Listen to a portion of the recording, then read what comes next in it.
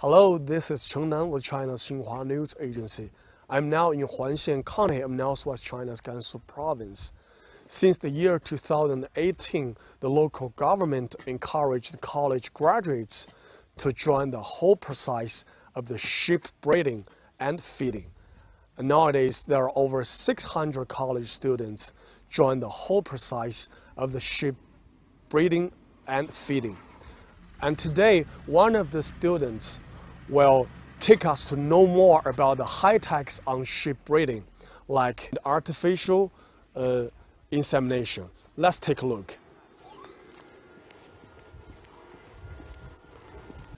Since 2018, over 600 college students with high techs on sheep breeding and feeding have helped uh, more and more local farmers get rich and Professor Li Guozhi is the manager of the Gansu Qinghuan Sheep Breeder Corporation. And now he will give us the brief introduction of these college students and the high techs on sheep breeding and feeding. Let's take a look. 你好，你好，你好，李总。那您给我们介绍一下我们 Please give us the brief introduction of this corporation and uh, the situation of all the college students. Okay. Uh, here our farm named uh, Gansu Qinghuan uh, Sheep Breeder Cooperation Limited. Uh, our farm is a sheep breeder farm. Uh, uh, our uh, responsibility is help the small farmers in the industry increase the potential, production potential for their production. Uh, so uh, increase the potential of the meat, so they will uh, increase income for them. So we are really help for the uh, for the rural revitalization. Uh, it's our responsibility and also our value for the industry. And uh, to we are we firstly we uh, establish a, uh, we call it technology base. So we are organized three teams for this uh, technology base. First team we call the international team. International team, the leader is uh, from Australia. We call him is uh, Dr. David Osborne. He is uh, chairman of the uh, embryo transfer in Australia and uh, he organized uh, more than 35 uh, foreign experts from Australia, from UK, from France, anywhere to our to work in our farm. Also, we organized a domestic team. We call it domestic technology team. So uh, they are come from National Agricultural uh, Academy and uh, from Northwest Agricultural University, and uh, from Huazhong Agricultural University, and some guy from uh, uh, Beijing National Agricultural University. They, this uh, domestic team and they transfer some the advanced technology to our farm. The third uh, team, uh, technology team, we call the local technology team. They are come from the here the city local agricultural academy, and also we have uh, a team in the county to develop uh, the, the technology to the industry. They organize the local uh, technology team. Their, their responsibility is to transfer more international technology and domestic technology to our local sheep industry to help the uh, small farmers to uh, increase their income. So uh, all this process, the human resources is really critical, most very important. So we are our county, in the Huanxian County, we organize about more than three, uh, 600 uh, college students to involve our sheep industry. And uh, here we have uh, about 32 college students to join our uh, the breeding process and also development, uh, development of our new breed. And also we have a new technology training center uh, is we, we get uh, four layers of new building.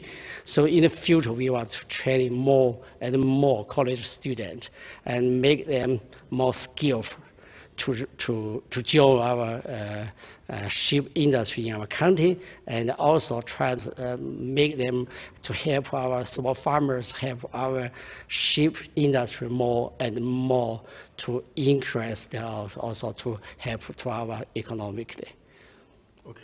Thank you. Thank you, Mr. Lee. And now, uh, one of the college graduates will take us to, uh, to walk into the shed, and we will know more about the high technologies on ship breeding. Let's take a look. Now I'm in the sheds. The two sheds will cover about 10,000 sheep.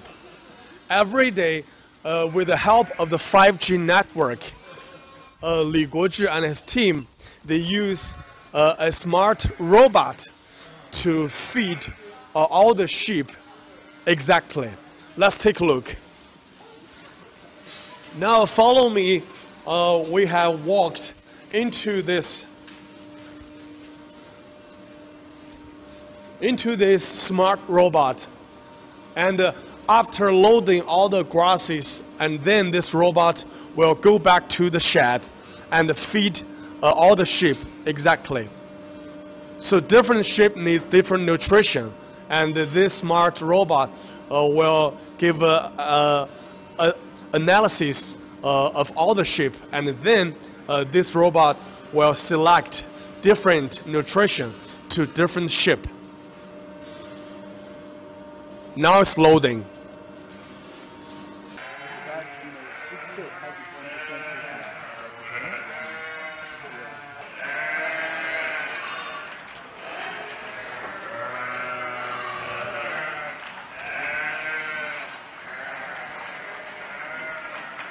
Now follow me. Oh, there is a smart robot.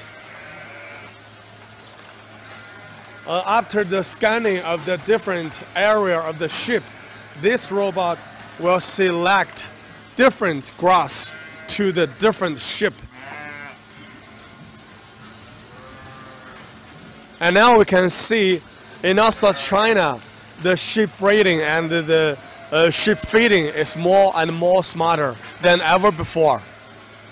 And now this robot uh, is walking along this shed and it can select different grass to the different ship. Uh, after the uh, introduction of this 5G uh, smart uh, nutrition system, and now I will introduce uh, college graduates Wang Pengtao to give us the brief uh, introduction of his everyday work here. Let's go. And now I'm in the shed and this is uh, Mr. Wang Pengtao, uh, who is uh, a college graduate uh, from uh, uh, Hebei province. 你好，彭涛，呃，给我们大家做个自我介绍吧。呃，大家好，我叫王鹏涛，我在河北读的 大学，学的就是畜牧兽医专业。在现在的羊场，我已经工作两年多了。呃，王鹏涛，呃，is 王鹏涛，呃。is a college graduate from a university from uh, uh, Hebei province, and now he has worked here uh, about for about two years. 呃，那那彭涛，你今天都要做哪些工作？今天我们要做的就是对羊只进行一个电子扫描，把我们这个呃电子系统呃完善一下。And now, for the cameras, you can see uh, here is the smart device with a cell uh, with a cell phone and a scanner. Uh, and today, Peng Tao and his team uh, they will scan all the uh, sheep.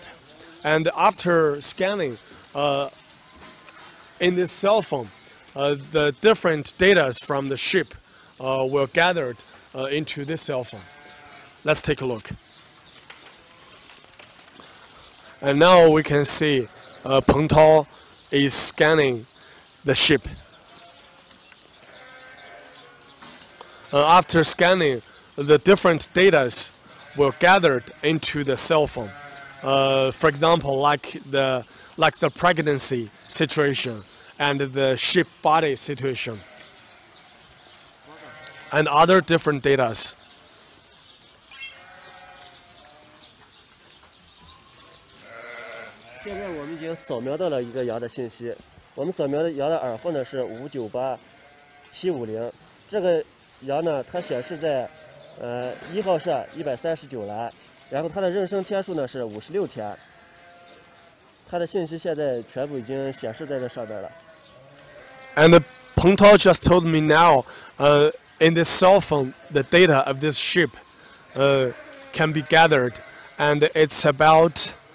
56 days for its pregnancy.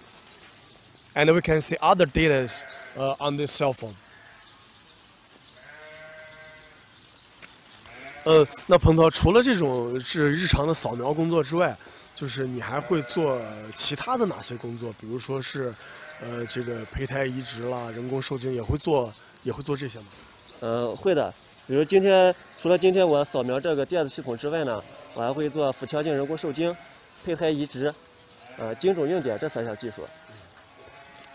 And after scanning Peng Tao and his team, uh, they will uh, take they will take artificial uh, insemination and other different surgical surgical devices for all the sheep. And now I will introduce uh, Dr. Uh, Samaila Usman from Nigeria. And uh, nowadays, uh, he also do some research researches in this shed. Hi, doctor. Uh, can you give us a brief introduction of your recent research in this shed? Yeah, as you said, uh, my research actually I focus on the nutrition of the animals. You know, nutrition is the foundation of the livestock production. And what I have been doing recently in this shed is to how to improve the utilization of different uh, feed that are being fed to these animals. I focus on the improvement of sorghum silage utilization. We have tried to uh, incorporate soybean into the sorghum silage and also we use some lactic acid bacteria, yeah, a particular strain which is Lactobacillus plantarum. We put it in that silage so that it can improve the silage uh, utilization by the animals. And you know, this uh, farm is a breeding farm. So we have uh, different uh, breeds. Some are pure breed and you know, different genotype of sheep. And this genotype, they have uh, different uh, utilization ability of the feed at different stages of production. So my research focuses on looking at you know the different stages of production and how these animals you know utilize the feed so that we can have a better understanding on how the animals utilize the feed so that we can improve the feed utilization by the animals thereby improving their productivity. Okay, thank you, doctor. Uh, and now, uh, uh, after the after Dr. Usman's uh, introduction uh, of his research uh, in this uh, and all of us will know more about the importance of the nutrition of the sheep.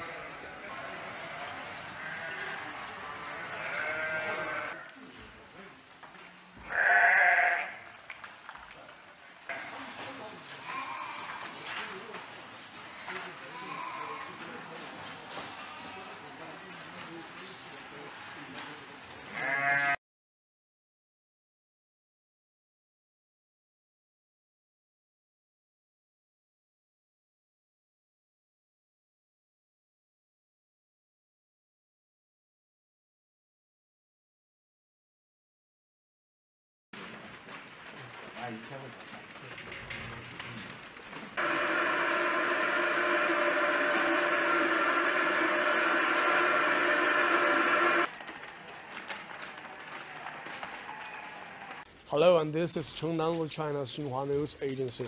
I'm now in a cooperative in Huanxian County of Northwest China's Gansu Province.